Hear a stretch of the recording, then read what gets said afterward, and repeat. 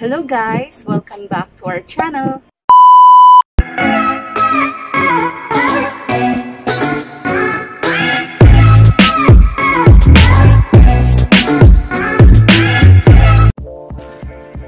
Hello guys! Welcome back to our channel! Um, for today's vlog is mag-unboxing tayo. Um, may dumating pong package from Shopee. Sabihin mo lang, salamat Shopee! In-order ko po to sa Shopee. It's a tripod. Actually, dalawa to eh. Dalawa kami ng sister ko ang nag-order.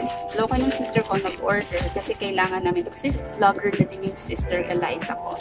So, kailangan namin to sa pag-vlog. So, gusto ko lang i-share sa inyo yung ano yung na-order namin.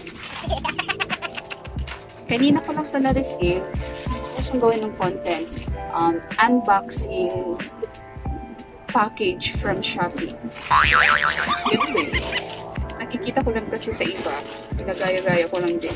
So, ito ay wait, ah, So, ito yung in-order namin from Shopee. Um, i I'll just drop the link below sa description box. Um, ilalagay ko din yung name ng store. Sa may balak bumili ng tripod, click nyo na lang po yung link. So, ito yung open ko na. Yes, ayan. So excited. Oh my God. Ito siya, guys.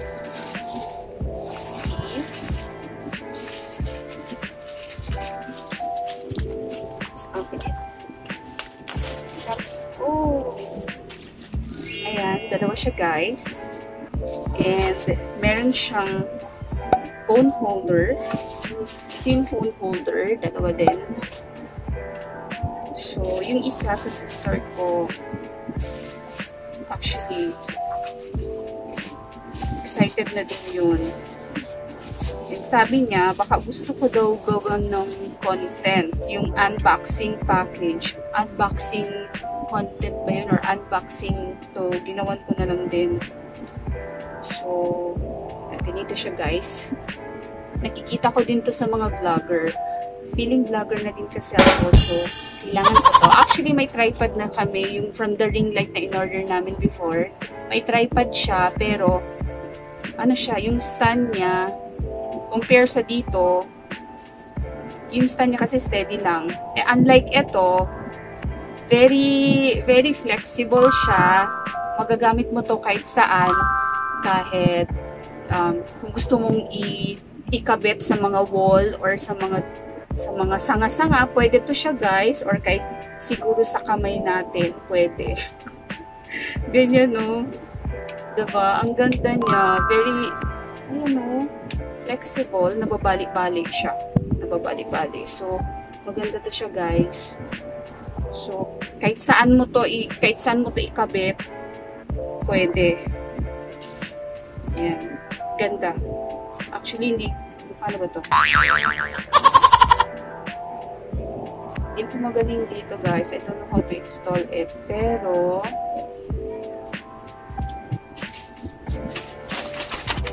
yun? Actually, itong phone holder, dito yan siya, guys. Actually, hindi ako sure. Hindi ko alam kung paano to. Ah!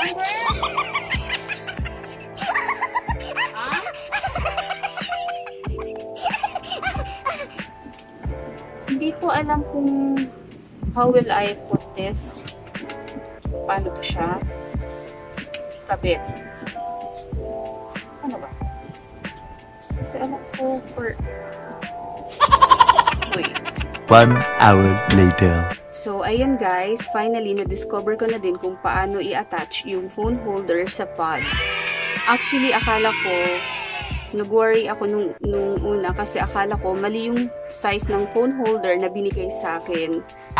Akala ko, hindi siya match kasi maliit yung butas ng maliit yung butas ng phone holder sa screw ng pod. And then later we found out na ito, pwede pala siyang loosen. Ayan. Natatanggal lang pala siya, guys. And, ayan, maliit na yung screw. And then, kasya na siya sa butas ng phone holder. And then, attach. Ayan. Ipasok lang natin and then, twist. Kabit na siya, guys. Pwede tayong gumamit ng screwdriver. Yun ang ginawa namin kanina para ma-tighten talaga siya. Ayan. Ayan, nakabit ko na. Tapos ito din isa. Ayan, dalawa na po guys. Okay, so let's try it sa phone.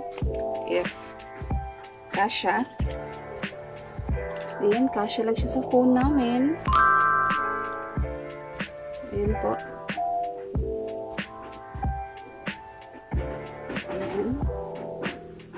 Ayan guys. Yes!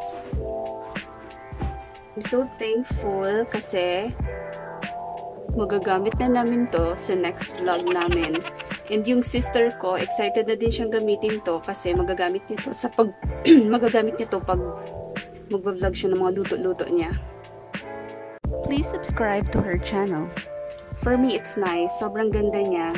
Um, magiging useful to para sa next vlog namin. So, ayun. I'm so happy. Thank you, Shopee. Is actually yung price nito is nasa 119 and nakasave ako kasi dalawa kami ng sister ko ang nag-order so hati kami sa shipping fee. So, sulit na siya guys for 119. Actually, may three variations to. May small, medium, and large. May small, medium, and large. And yung in-order namin is yung large. So, okay na siya guys. Sulit na siya for 100 plus. So, I'll just put the link sa description box below para makita nyo yung name ng seller. Para sa mga gustong umorder ng ganito. Ang ganda niya guys, promise. Maganda to pang photoshoot or kung gusto natin mag-selfie or mag... Ito, pag-vlog. So, alam kong madami nang may ganito. Actually, may tripod na din naman kami, guys. Kaso lang, yung, yun, yun yung ginagamit ko ngayon. Ang, ang disadvantage lang nung tripod ng ring light namin is, ano siya, steady lang siya. Parang stand steady lang siya. Unlike ito, makakabit natin to kahit saan. Kahit sa wall, pwede. At saka, flexible siya guys. Pwede to kahit saan. So, yun. Um, masasabi ko, I'm, satis I'm satisfied. Masaya ako sa product na to. So that's it for today's vlog guys. I hope you like this video. Please leave a like, comment, and please hit the notification bell para ma-notify kayo every time na may bago kaming upload. That's all guys. Bye!